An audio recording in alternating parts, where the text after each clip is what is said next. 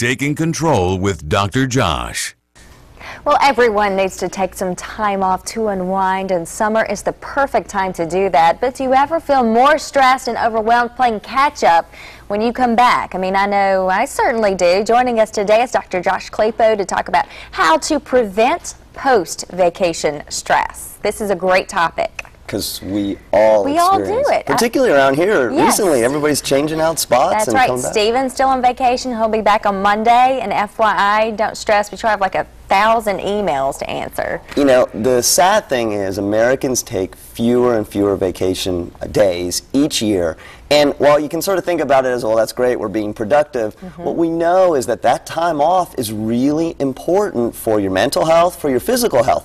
But if you are so stressed about what's going to happen when you come back, a lot of times you waste your time and money on vacation because you're not enjoying the vacation. So things that you can do before, yeah, during, and after. Let's talk about those. You have a couple of very good tips. The first one, make a priority list. Yes, before you leave, write down everything that you think you need to do when you get back and take that list with you. And I'm going to tell you what to do with it in a minute. Throw and the other thing, no, no, I need to take it with. The other thing is also let people know you're going to be gone.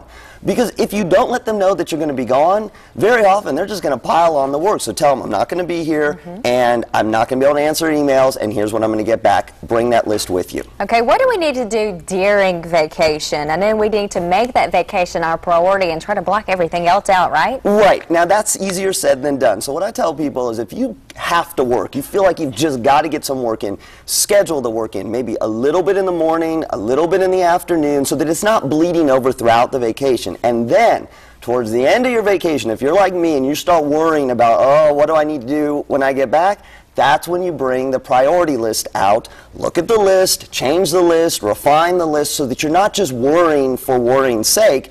Bring that new list with you the day you get back. Okay.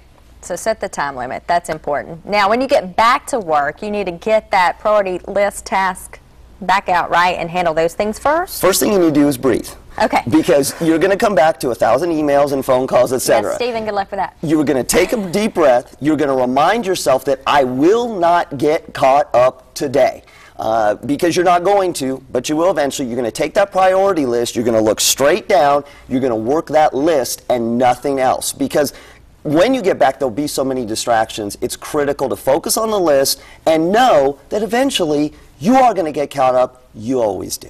And I love your last tip. Request time to get back on track. That's important. And I really think your bosses will probably understand that. You're not telling them you need more days off. You're right. just saying, hey, look, I just got back in the office. Cut me a little bit of slack, and I will get caught back up. We all experience it. And so telling people what you need, even if it's just a little bit, it can mm -hmm. be mm-hmm. extremely helpful. All right. Well, Dr. Josh Klapow, UAB psychologist, thank you always so much sure, for being here with us on Thursday and help us take control. And you also have great segments on the website, too, yes, as well. All right.